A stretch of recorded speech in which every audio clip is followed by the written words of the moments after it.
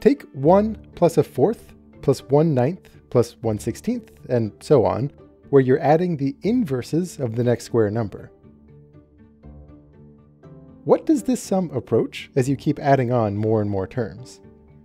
Now this is a challenge that remained unsolved for 90 years after it was initially posed, until finally, it was Euler who found the answer, super surprisingly, to be pi squared divided by 6.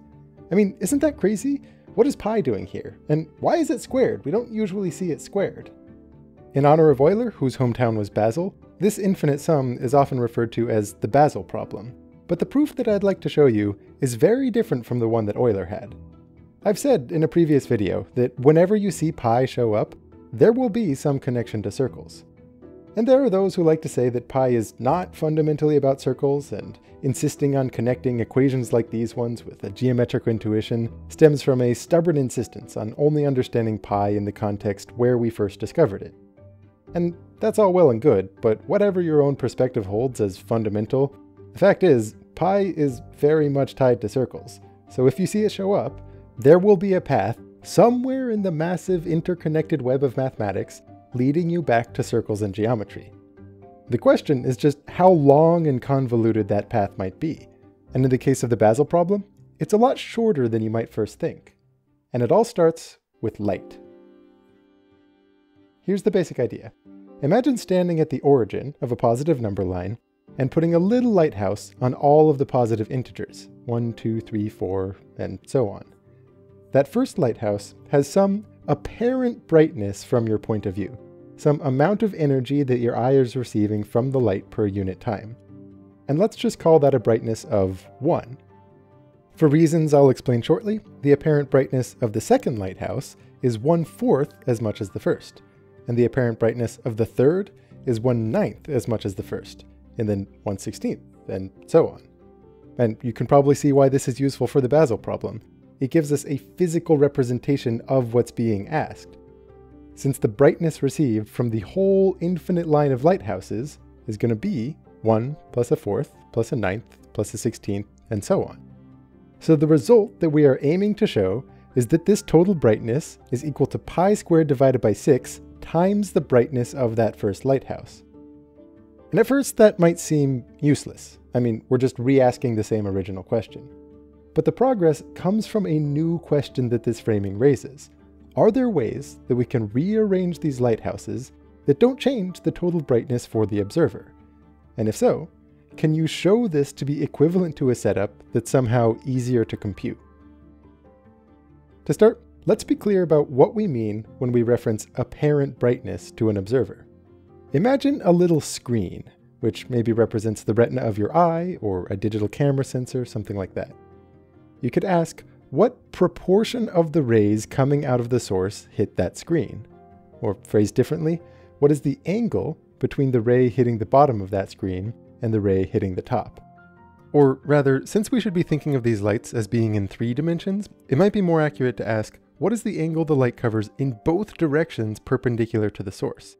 In spherical geometry, you sometimes talk about the solid angle of a shape, which is the proportion of a sphere it covers as viewed from a given point. You see, the first of two places this story where thinking of screens is going to be useful is in understanding the inverse square law, which is a distinctly three-dimensional phenomenon. Think of all of the rays of light hitting a screen one unit away from the source. As you double the distance, those rays will now cover an area with twice the width and twice the height. So it would take four copies of that original screen to receive the same rays at that distance. And so each individual one receives one fourth as much light. This is the sense in which I mean a light would appear one fourth as bright two times the distance away. Likewise, when you're three times farther away, you would need nine copies of that original screen to receive the same rays, so each individual screen only receives one ninth as much light. And this pattern continues. Because the area hit by a light increases by the square of the distance, the brightness of that light decreases by the inverse square of that distance. And as I'm sure many of you know, this inverse square law is not at all special to light.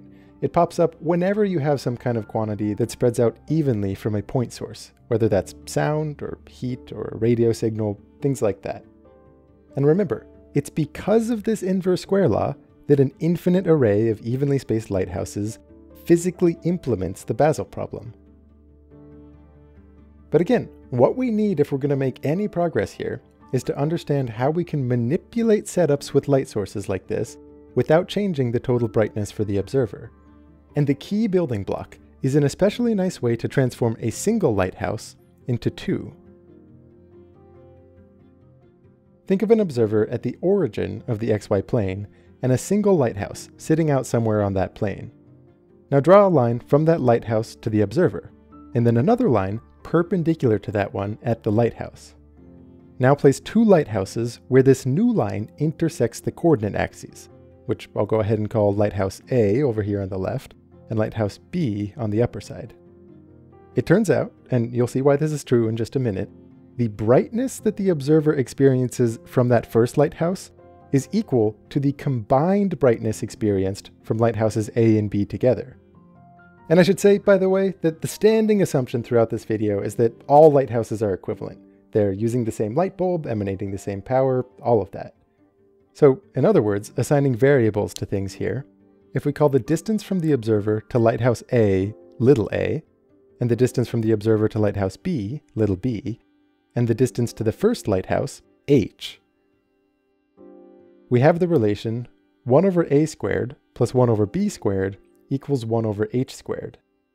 This is the much less well-known inverse Pythagorean theorem, which some of you may recognize from Mathologer's most recent, and I'll say most excellent, video on the many cousins of the Pythagorean theorem.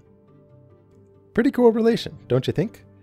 And if you're a mathematician at heart, you might be asking right now how you prove it. And there are some straightforward ways where you express the triangle's area in two separate ways and apply the usual Pythagorean theorem. But there is another quite pretty method that I'd like to briefly outline here that falls much more nicely into our storyline, because again, it uses intuitions of light and screens. Imagine scaling down the whole right triangle into a tinier version, and think of this miniature hypotenuse as a screen receiving light from the first lighthouse. If you reshape that screen to be the combination of the two legs of the miniature triangle, like this, well, it still receives the same amount of light, right? I mean, the rays of light hitting one of those two legs are precisely the same as the rays that hit the hypotenuse. Then the key is that the amount of light from the first lighthouse that hits this left side, the limited angle of rays that end up hitting that screen, is exactly the same as the amount of light over here coming from lighthouse A, which hits that side. It'll be the same angle of rays.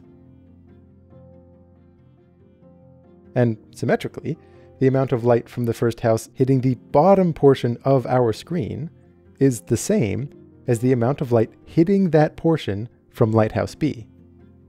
Why, you might ask? Well, it's a matter of similar triangles. This animation already gives you a strong hint for how it works, and we've also left a link in the description to a simple GeoGebra applet for those of you who want to think this through in a slightly more interactive environment. And in playing with that, one important fact here that you'll be able to see is that the similar triangles only apply in the limiting case for a very tiny screen. Alright, buckle up now, because here's where things get good.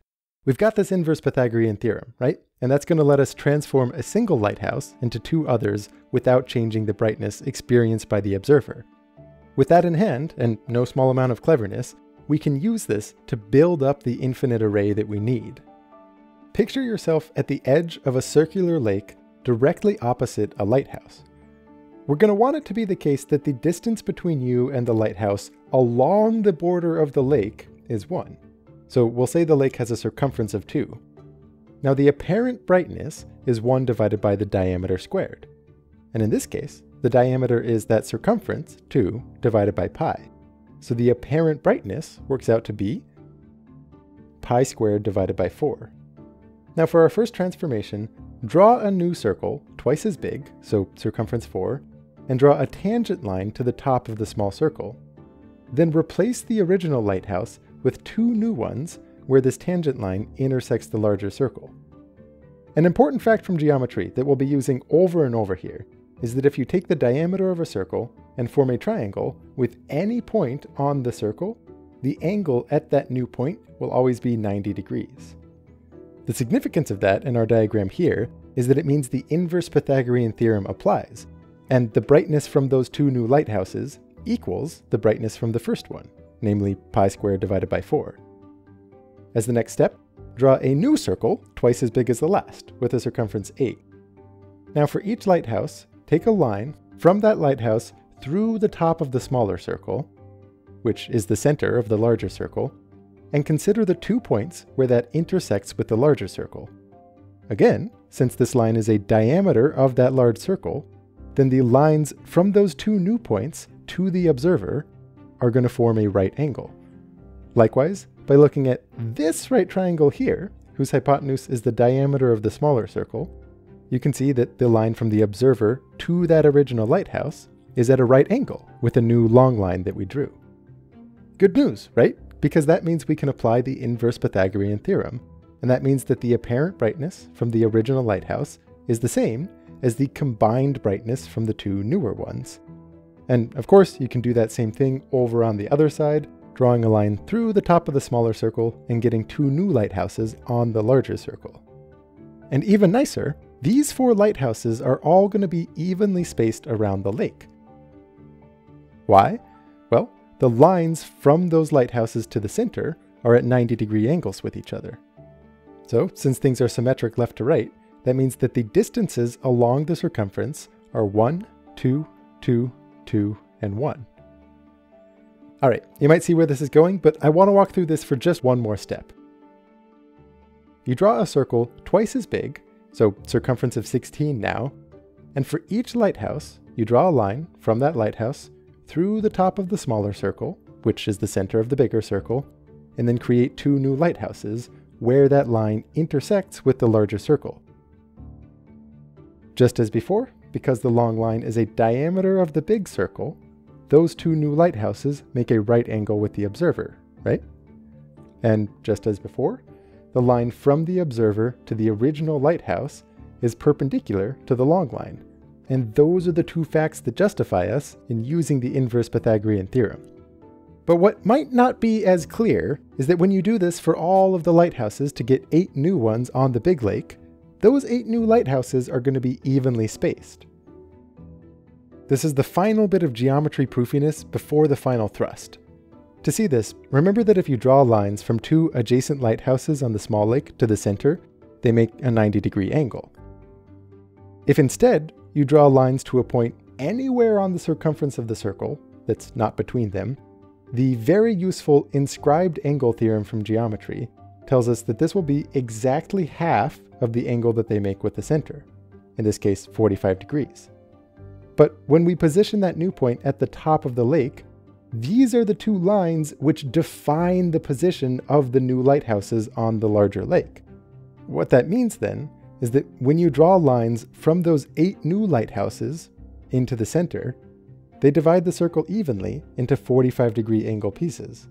And that means the eight lighthouses are evenly spaced around the circumference, with a distance of 2 between each one of them. And now, just imagine this thing playing on. At every step, doubling the size of each circle, and transforming each lighthouse into two new ones along a line drawn through the center of the larger circle. At every step, the apparent brightness to the observer remains the same, pi squared over 4, and at every step, the lighthouses remain evenly spaced with a distance 2 between each one of them on the circumference. And in the limit, what we're getting here is a flat horizontal line with an infinite number of lighthouses evenly spaced in both directions. And because the apparent brightness was pi squared over 4 the entire way, that will also be true in this limiting case. And this gives us a pretty awesome infinite series. The sum of the inverse squares 1 over n squared where n covers all of the odd integers, 1, 3, 5, and so on, but also negative 1, negative 3, negative 5, off in the leftward direction. Adding all of those up is going to give us pi squared over 4. That's amazing, and it's the core of what I want to show you. And just take a step back and think about how unreal this seems. The sum of simple fractions that at first sight have nothing to do with geometry, nothing to do with circles at all, apparently, gives us this result that's related to pi. Except now you can actually see what it has to do with geometry. The number line is kind of like a limit of ever-growing circles. And as you sum across that number line, making sure to sum all the way to infinity on either side, it's sort of like you're adding up along the boundary of an infinitely large circle, in a very loose but very fun way of speaking. But wait, you might say, this is not the sum that you promised us at the start of the video. And, uh, well, you're right, we do have a little bit of thinking left. First things first, let's just restrict the sum to only being the positive odd numbers, which gets us pi squared divided by 8. Now the only difference between this and the sum that we're looking for, that goes over all the positive integers, odd and even, is that it's missing the sum of the reciprocals of even numbers, what I'm coloring in red up here. Now, you can think of that missing series as a scaled copy of the total series that we want, where each lighthouse moves to being twice as far away from the origin. 1 gets shifted to 2, 2 gets shifted to 4, 3 gets shifted to 6, and so on. And because that involves doubling the distance for every lighthouse, it means that the apparent brightness would be decreased by a factor of 4. And that's also relatively straightforward algebra. Going from the sum over all the integers to the sum over the even integers involves multiplying by 1 fourth. And what that means is that going from all the integers to the odd ones would be multiplying by 3 fourths, since the evens plus the odds have to give us the whole thing. So, if we just flip that around, that means going from the sum over the odd numbers to the sum over all positive integers requires multiplying by 4 thirds. So, taking that pi squared over 8, multiplying by 4 thirds, bada boom bada bing, we've got ourselves a solution to the Basel problem. Now, this video that you just watched was primarily written and animated by one of the new 3 Blue 1 Brown team members, Ben Hambrecht, in addition made possible thanks to you guys through Patreon.